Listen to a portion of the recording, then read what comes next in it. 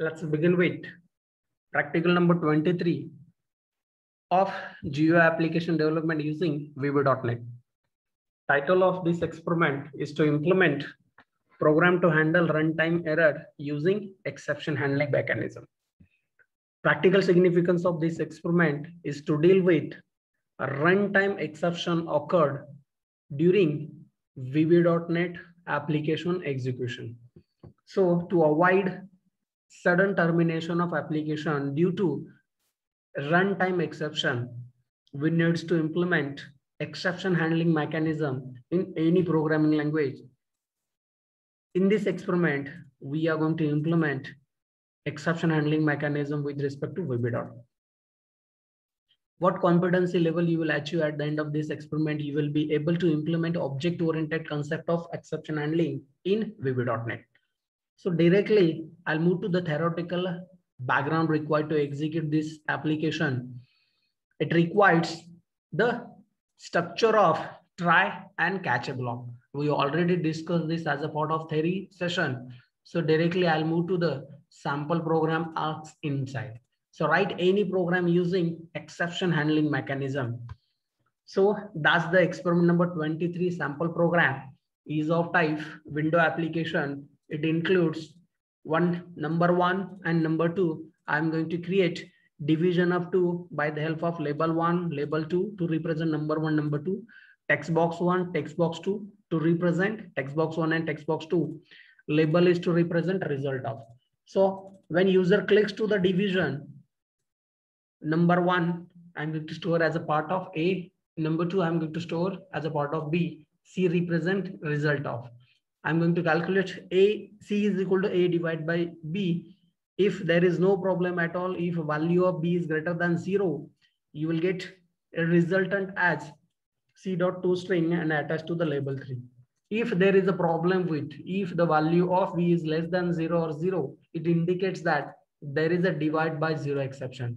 So the exception will rise and you will get message on screen as please enter value B greater than zero. It avoids the sudden termination of application due to divide by zero exception.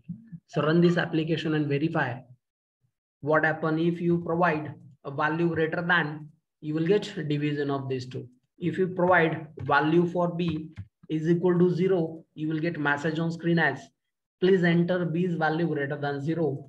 So we handle divide by zero runtime exception with try and catch a block. Try block represents the space for situation where exception may arise and catch a block represent the handling mechanism with respect to. Let's continue with the next part of practical related question again includes two console type of application, console type of application because there is a module and sub main function. Console type of application Simply you need to select console application into new project mode and copy paste syntax specified as a part of. So let me open PR1 syntax. I just simply copy and paste syntax specified here with one more sentence to hold output on output window on screen console.read method. I run this application, whatever may be output you will get, you just note it down as a part of manual. Similarly, there is another one question includes a user defined rise for exception. So let me run this application. Practical related question.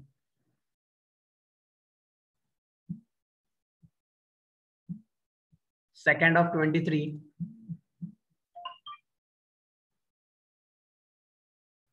Arithmetic operation result in a overflow. So what happened if you're trying to delete, here it is, if you're trying to divide number by zero, it directly indicate that there is a divide by zero exception. So this statement will not execute. You will get message on screen as what may be the error bounded with. So message here, you will get as overflow error. Here it is, the arithmetic operation result in overflow. So you need to specify this output as a output window or whatever be space available as a part of manual. Let's go to the exercise specified inside a very simple exercise they specified in this experiment. Let's go to the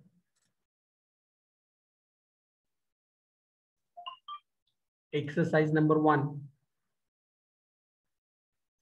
Here it is. Button click event. First of all, go to the UI. It includes label one, label two, label three to represent name, age, and height. One text box to input a value name, one text box to input a value age and height. When user click to submit, if all the values specified to each and every attribute is okay, I'm going to display as a part of label 5, label 6 and label 5 and 6.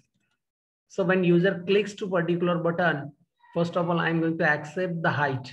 I'm going to find out whether the height value is up to the required height. If it is okay, I'm going to raise a custom define or user define exception as a part of. So if height is less than 5, I'm going to throw manually. See value less than 5, it's not a standard case of exception.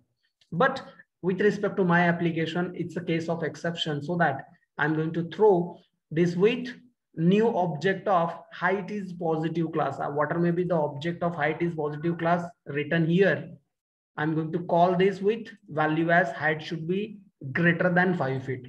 So if value is less than 5, exception thrown as a part of height is positive, value specified here come to the constructor of class and display as a part of message.